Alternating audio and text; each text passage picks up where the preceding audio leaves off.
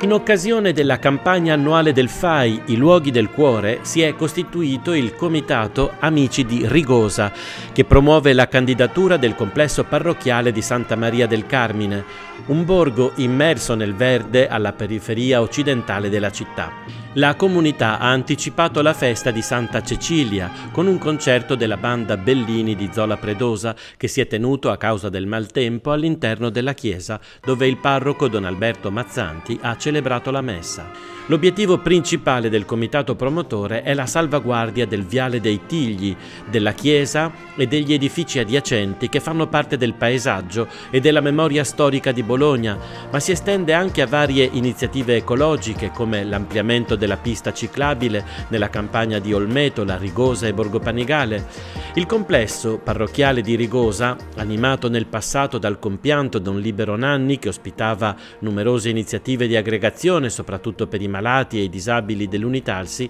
necessita di un restauro del corpo centrale della chiesa, interessata da un importante fenomeno di umidità di risalita. La speranza è anche quella di rifunzionalizzare l'antica scuola abbandonata da oltre 40 anni per renderla disponibile ad attività sociali, la canonica e il parco retrostante un piccolo gioiello incastonato tra il torrente Lavino e la pianura coltivata a seminativo e frutteto, tipico paesaggio della pianura non ancora contaminato dall'espansione urbanistica della periferia bolognese. Fu Matilde di Canossa a far costruire il primo nucleo della chiesa, che successivamente venne modificata e ampliata in diversi momenti storici, per essere infine completamente ricostruita attorno al 1885 e orientata verso la nuova strada di Rigosa. I 26 maestosi esemplari di Tilia tomentosa lungo il viale di accesso alla chiesa hanno un valore monumentale, sottoposti a tutela della regione Emilia-Romagna,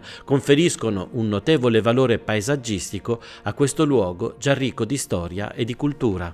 È un luogo bello, però certo che è impegnativo perché, come si sa, ha un ambiente verde molto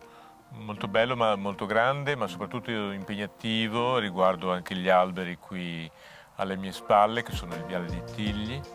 Questi alberi adesso hanno bisogno di molte cure, sono tutelati, sono eh, già un secolo alle spalle di vita e sono tutelati dalla regione, sono molto onerosi, adesso abbiamo bisogno di fare anche degli esami accurati e, ma essendo l'ambiente comunque bello e impegnativo abbiamo deciso anche di concorrere come luogo del cuore del FAI, ecco, per avere anche eh, maggiori possibilità di tutelarlo e di preservarlo. Noi oggi possiamo orgogliosamente eh, sostenere che abbiamo preso 3.600 voti, 3.600 sono veramente tanti per questo luogo e stiamo concorrendo eh, nella graduatoria, nella classifica nazionale eh, ci stiamo attestando attorno al trentesimo posto come luogo del, del cuore del FAI. Tra l'altro a Bologna siamo assolutamente i primi, siamo nelle prime cinque posizioni dell'Emilia Romagna, per cui eh, questa iniziativa sta avendo veramente un grande successo e un notevole riscontro.